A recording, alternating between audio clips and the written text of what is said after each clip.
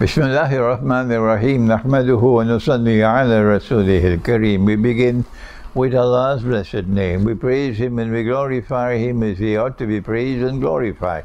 And we pray for peace and for blessings on all His noble messengers and in particular on the last of them all, the blessed Prophet Muhammad sallallahu ta'ala alayhi wasallam. As we greet you with the dua of the Prophet, Allah's blessing be upon him, the dua which is most known. Allahumma barik lana fi Rajabin wa Shaban wa baligna Ramadan. O Allah, kindly grant us blessings in Rajab, the month of Rajab, and in Shaban, which is to follow.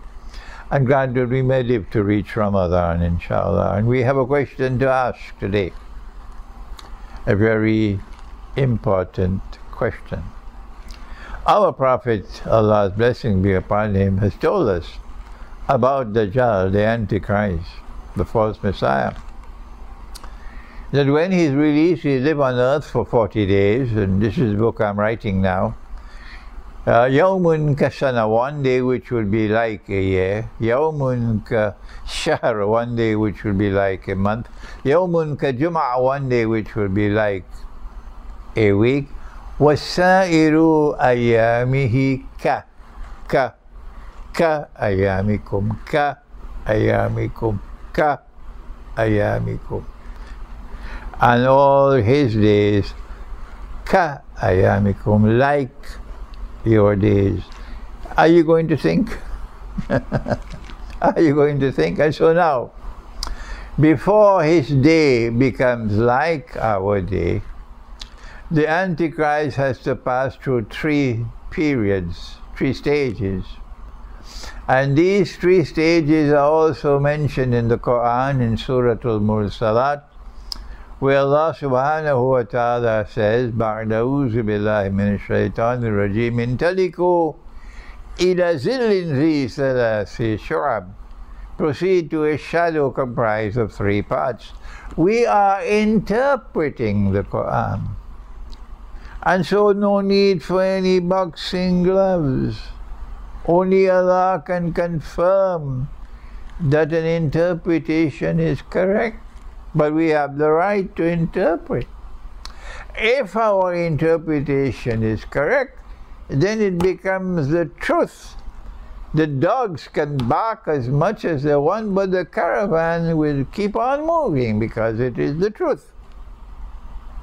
And so now then, we have interpreted the three periods, the three stages in the life of the Antichrist as stages in which you will see the evidence of the Antichrist moving to eventually rule the world from Jerusalem at which place and at which time he can then declare, Ana al-Masih, I am the Messiah, which would be a lie, because he's not the Messiah.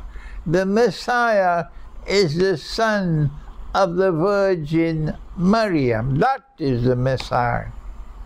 And that Messiah came, and that Messiah left and that Messiah will return. The dogs can bark as much as they want. It won't stop it. That Messiah will return. The Christian believes that, and the Muslim believes that, and the dogs can bark as much as they want. It won't stop the caravan from moving on. And so now then we said that in stage one of the life of the Antichrist, he created Pax Britannica when suddenly and mysteriously an island off the coast of Europe that Napoleon contemptuously dismissed as a nation of shopkeepers.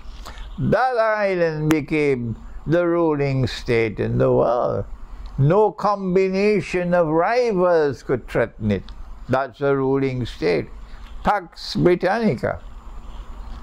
And I, if you read my book, Jerusalem in the Quran, you'll see the evidence we provide that Pax Judaic, Pax Britannica was the first stage. In fact, it's the cover design of Jerusalem in the Quran. You don't have to buy the book. All my books can be downloaded free of charge from my website. Hmm? Then there's also explaining Israel's mysterious imperial agenda, another book that you can read on this subject.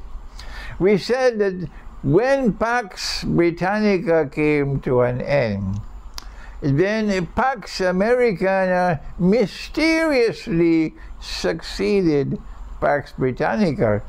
And this became the second stage of the life, in the second stage of the life of the Antichrist.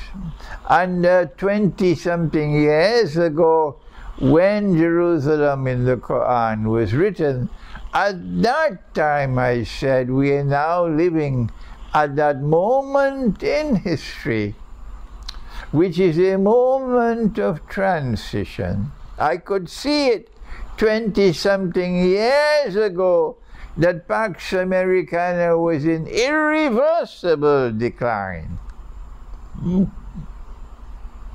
Irreversible decline.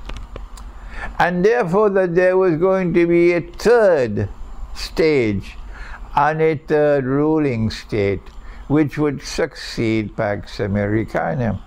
And I gave the view which many people accepted, but some differed with me, that Pax Judaica would replace Pax Americana.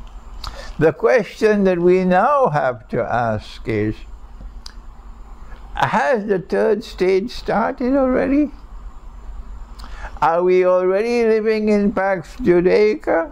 I have many people writing to me. You will be surprised how many people write to me. Not just Muslims, Christians as well, even those who don't have a faith. There are, there are many, many people writing to me from so many parts of the world. And uh, amongst them, those who are arguing with me that Pax Judaica has already begun that we are now living in Pax Judaica. What I want to do today is to confirm, yes, we see the evidence now that a Pax Judaica is coming. The, the United States of America has been the protector of the baby, Israel, protecting Israel the United States of America, as a permanent member of the Security Council of the United Nations, has vetoed every single resolution, every single resolution that attacks Israel, that is a threat to Israel, that seeks to block Israel. They veto it, everything. And the only time the United States will vote for a resolution is when it is sufficiently diluted to be acceptable to Israel. And so this is the supporter, this is the protector of Israel. So when Israel is saying to the United States, we, we are not going to obey you, you don't control us, you're seeing the signs of, of Israeli independence from the United States.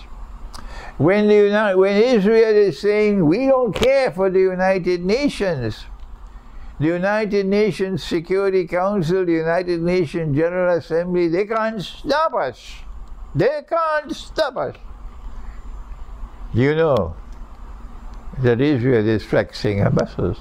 And when South Africa takes the Israel to the International Court of Justice in The Hague with a charge of genocide, and Israel responds to say, even if we lose the case in The Hague, the ICJ, the International Court of Justice, cannot stop us. The International Court of Justice, we, their argument can stop Venezuela in Essequibo, but cannot stop Israel. What nonsense. So the evidence is now plain and clear that Israel is flexing her muscles and showing the signs of a Pax Judaica which is coming.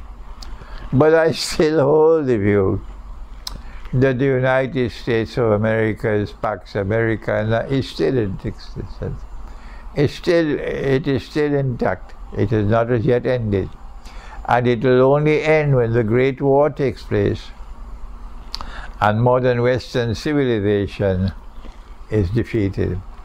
And so we pray that Allah subhanahu wa ta'ala might bless our people, particularly the young ones, the young ones, mashallah, the young ones, to constantly observe events unfolding in the world to be able to recognize the three stages of the Antichrist. And so they won't be surprised on that day when someone stands up in Jerusalem and declares that I am the Messiah, and who sees with two eyes. And he says, I am the Messiah.